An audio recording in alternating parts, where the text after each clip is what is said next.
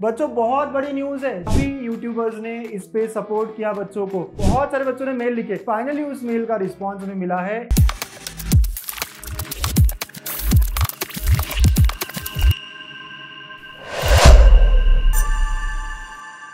S वाले बच्चों, बहुत ही बड़ी खुश खबर है।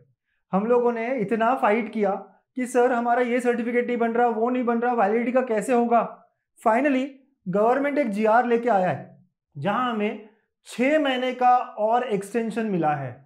बच्चों, बहुत बड़ी न्यूज़ है। छह महीने का एक्सटेंशन यस तो बहुत बहुत बढ़िया बात है। कॉन्ग्रेचुलेशन टू ऑल और कई सारे यूट्यूबर्स जिन्होंने इसके बारे में आवाज़ उठाई थी, उन्हें भी कॉन्ग्रेचुलेशन काफ़ी यूट्यूबर्स ने इस पे सपोर्ट किया बच्चों को।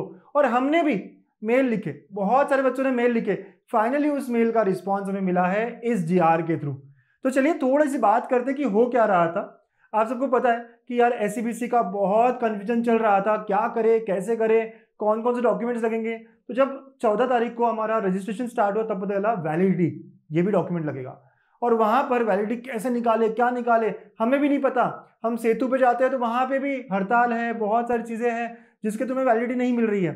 तो फाइनली चलो वो जीआर देखते हैं। गवर्नमेंट ने एक जी आर यहाँ पर भेजा है।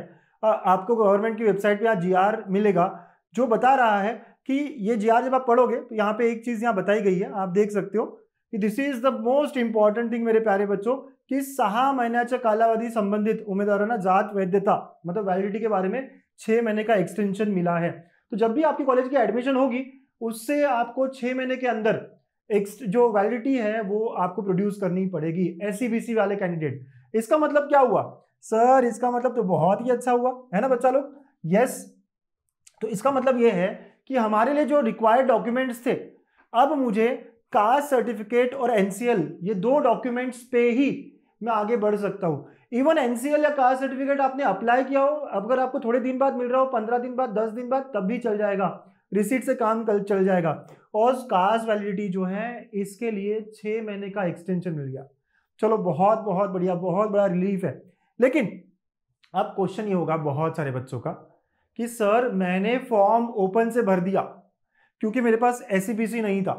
या मैंने ई e से भर दिया, मेरे पास एस के पूरे डॉक्यूमेंट्स मिलने वाले नहीं थे तो अब मैं क्या करूँ? ये सबसे बड़ा क्वेश्चन है कि नहीं आप लोगों का? अगर ये क्वेश्चन है तो एक बार आप कमेंट में डाल के बताइए मुझे। सर, मेरा ये क्वेश्चन था। मैं जानना चाहता हूँ कितने लोग मुझसे रेजोनेंस कर रहे हैं, कितने लोगों का क्वेश्चन सेम था? और इस क्वेश्चन को मैं आंसर करने वाला हूँ।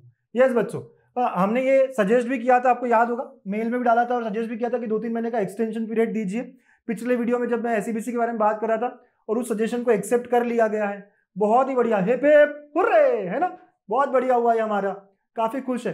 तो अब यहाँ बात ये चल रही थी, सर, मैंने ओपन से कर लिया, अब कैसे चेंज करूँ?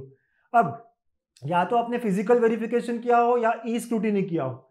जिन्होंने फ़िज़िकल वेरिफिकेशन किया है, उन्हें जहाँ पर भी आपने किया था उस एससी सेंटर स्क्रूटिनी सेंटर जाना है और वहाँ वो चेंज कर सकते हैं। सर हमारे पास तो अब दिन कम है, चौबीस तारीख तक का ही टाइम है। फटाफट भाग जाइए, अभी भाग जाइए, आज भागिए, कल भागिए, पहुँच जाइए, हो जाएगा। है ना? वेरिफिकेशन सेंटर में जाइए, जो भी आपका स्क्रूटिनी सेंटर था, वहाँ उन्हें बताइए कि मुझे चेंज करना है और चेंज हो जाएगा।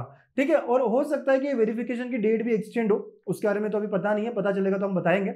ओके तो फ़िज़िकल वेरिफिकेशन के लिए कुछ भी चेंज करना हो आपको आपके एप्लीकेशन में। सर पूरा प्रिंट हो गया, अब चेंज कर सकते हैं या कर सकते हैं, लेकिन स्क्रूटिनी सेंटर में जाकर ही होगा। और जो बच्चों ने ई वेरीफाई किया है, जो बच्चों ने ई स्क्रूटिनी किया है, उन बच्चों को वहाँ पे रेज ग्रीवियंसेस का ऑप्शन मिलेगा। हाँ रेज ग्रीवियंसेस का। तो आप रेज ग्रीवियंसेस पे जाएँगे, आप वहाँ क्लिक करेंगे रेज करेंगे तो वहाँ पे आपका जो फॉर्म है वो अनलॉक हो जाएगा ओपन हो जाएगा। और वहाँ आप जो है चेंजेस कर पाओगे। राइट तो ये दो तरीके आपके पास है। फ़िज़िकल वालों को जाना है, फिजिकली करना है काम। और ई वेरीफाई जिन्होंने किया उनको, वहाँ पे रेज सर कहाँ मिलेगा? आप लॉगिन तो करिए, वहाँ दिखेगा आपको साइड में बहुत सारे ऑप्शन तो रेज ग्रीवियंस का भी एक ऑप्शन मिलेगा। जैसे आप रेज ग्रीवियंस डालते हो, वहाँ पे आपका फॉर्म अनलॉक हो जाएगा ओपन हो जाएगा, आप ये सारे चेंजेस कर पाओगे। तो बच्चा लोग, बहुत बहुत अच्छी न्यूज़ थी आई एम वेरी श्योर आप सब लोग भी बहुत खुश होंगे, है ना? पक्का से आपका रिएक्शन मुझे बताइएगा in comments I will be waiting for that और बाकी की सारी प्रोसेस में मैं आपके साथ रहूँगा। हम सारी बातें अच्छे से डिटेल में कॉलेज लिस्ट कैसे बनानी है, क्या बनानी है, हर चीज़ को आगे के वीडियोज़ में देखेंगे। All the best thank you and take care